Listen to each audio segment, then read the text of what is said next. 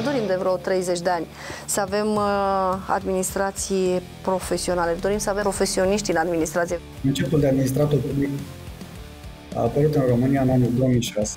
Rolul este acela de a fi un bun profesionist. Sunt câteva județe în România care au o strategie de transformare digitală la nivel județean.